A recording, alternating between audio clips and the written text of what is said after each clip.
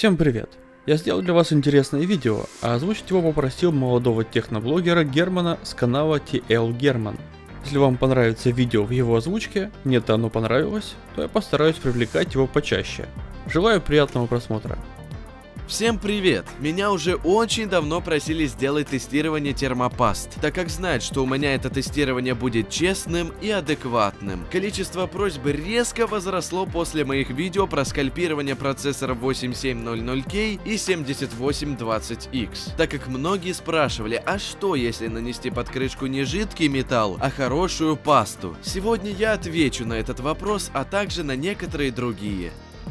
В этом тесте, конечно же, будет топовая термопаста Creanote от Thermal Grizzly, а противостоять ей в этом челлендже будет небезызвестная Arctic MX4 и многим знакомая Noctua NT-H1. Также специально для людей, которые будут в комментариях писать «Я всю жизнь мажу КПТ-8 и все хорошо», добавил и ее в тестирование. Помимо этого, я добавил две китайские дешевые термопасты, которые продаются на AliExpress или eBay, так как некоторые думают, что особой разницы между между термопастами нет, и переплачивать нет смысла. И все это я приправляю и тестами с жидким металлом. Начну я свое повествование с того, что поясню, чем мое тестирование будет отличаться от множества других, и почему именно моему тестированию следует доверять. Это помимо того, что у этого выпуска нет спонсора видеопроизводителя одного из тестируемых термопаст, в отличие от тестирований других блогеров, так как все термопасты и жидкие металлы были куплены за мои кровные. Начну с того, что 90% блогеров не делают правильное тестирование или тестирование с серьезными ошибками, которые вносят серьезный дисбаланс в конечный результат. Первая ошибка таких горе-блогеров заключается в том, что тестирование нужно проводить не в играх, где процессор мало того, что задействован зачастую только на 40-50%, но и нагрузка на сам процессор постоянно меняется и каждый раз ведет себя по-разному. Поэтому термопасты нужно тестировать под высокой высокой и постоянной нагрузкой. Здесь даже не все стресс-тесты подходят по этому параметру. Лично я использую стресс-тест утилиты AIDA 64. Да, это далеко не лучший стресс-тест, но он намного стабильнее выдает постоянную нагрузку, чем многие другие.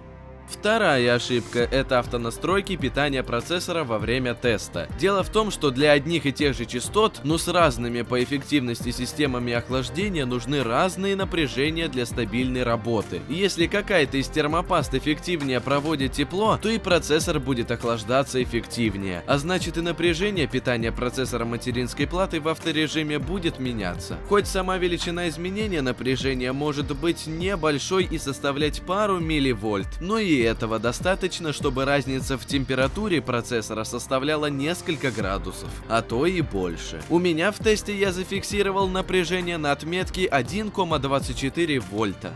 Третья ошибка заключается в том, что тестирование производится не на процессорах с припоем или ЖМ под крышкой, а на процессорах с интеловской термопастой. Да, я знаю, что у 80% а то и большего количества людей именно термопаста под процессорной крышкой, но дело в том, что эта паста, если ее можно так назвать, в разных процессорах может давать погрешность в 2, в 3, в 4 градуса. Это не все замечания, которые у меня есть к тестированиям других блогеров, но о них я расскажу во время описания моего, как я считаю, правильного тестирования. Для начала я выставил настройку электропитания процессора в режим высокая производительность. Это нужно делать обязательно для исключения каких-либо случайностей или глюков программного обеспечения. А такие бывают, поверьте, просто немногие действительно во всем этом разбираются.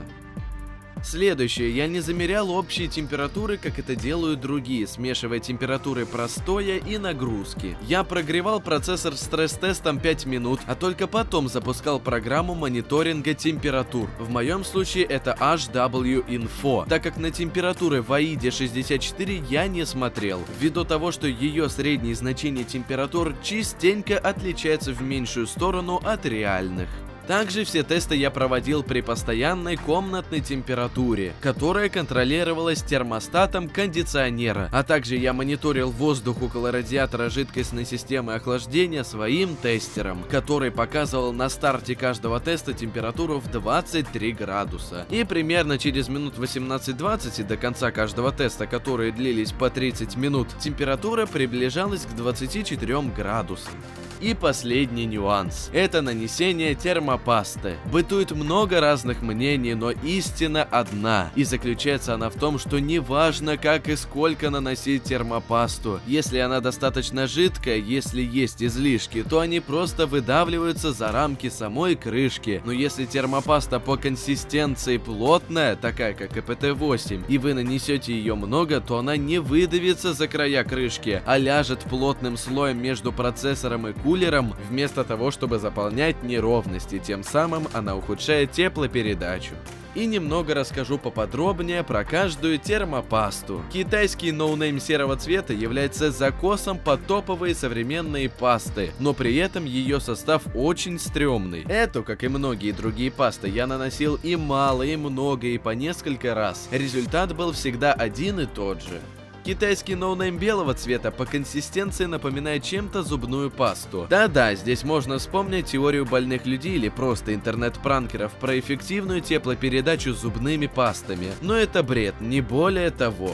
КПТ-8. Как я уже сказал, ее нужно наносить очень мало, так как при обильном нанесении разница в температурах может достигать 18 градусов.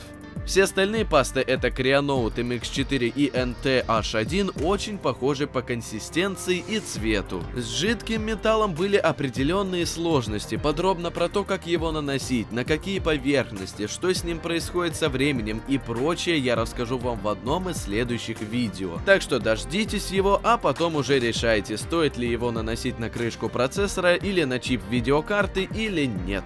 Ну а теперь перейдем к тестам. Как я уже сказал ранее, сами тесты делались по 30 минут. Сами температуры снимались с уже прогретого процессора, и это были последние 25 минут теста. Самих тестов я делал по 5-6 для каждой термопасты.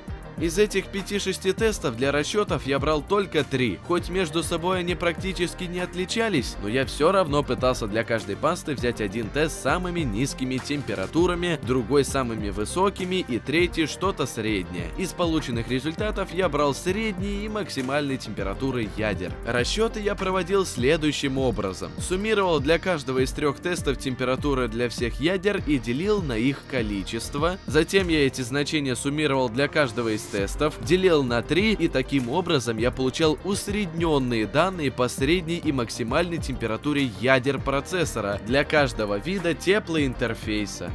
По итогу вы видите, что жидкий металл законно занял свое первое место, но с достаточно небольшим отрывом от второго и третьего места. Вторую строчку рейтинга, к моему большому удивлению, заняла термопаста от Noctua, уступая только 3 градуса жидкому металлу, затем с разницей в 1,5 градуса Arctic Cooling MX4. Разрекламированная многими паста Kryonaut занимает только четвертую позицию, причем с заметным отрывом от лидеров в 3 градуса градуса. Те, кто ждал чуда от КПТ-8 или от китайских паст, сами все видят. Причем серый no name просто с треском провалили тестирование. Вторая часть тестирования заключается в нанесении пасты вместо жидкого металла под теплораспределительную крышку процессора, чтобы выяснить, а стоит ли париться по поводу жидкого металла или с минимальной разницей ограничиться хорошей термопастой. И как вы видите, париться с жидким металлом придется, так как разница составляет 14 градусов. Это, конечно, лучше, чем разница в 24-25 градусов на родном интеловском термоинтерфейсе, но все равно много. Думаете, на этом у меня все? Нет, в следующем видео я расскажу вам про установку охлаждения процессора прямо на кристалл при помощи специальных приблуд и продолжу выяснять, чья же паста лучше и сможет ли она конкурировать с жидким металлом в таком случае. А напоследок признать в том, что у моего тестирования есть один недостаток. Оно не отвечает на вопрос, на каком именно этапе времени эти термопасты эффективно справляются со своей задачей и какая из них быстрее других теряет свои свойства. Но по опыту скажу, что желательно менять пасту раз в год, полтора, максимум два. Ну а на этом у меня все. До новых встреч!